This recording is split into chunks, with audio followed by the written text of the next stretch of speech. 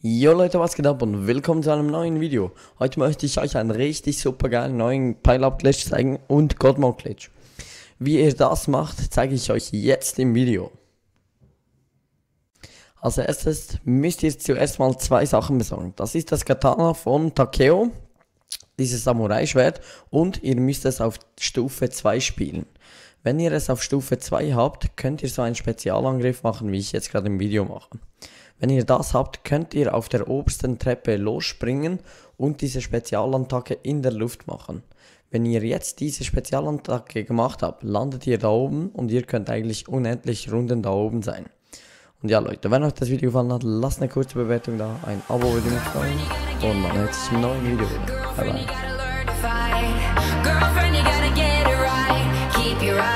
bye. Want it with all your might. Girlfriend, you gotta learn to fight. I know you're gonna be alright. You wanna make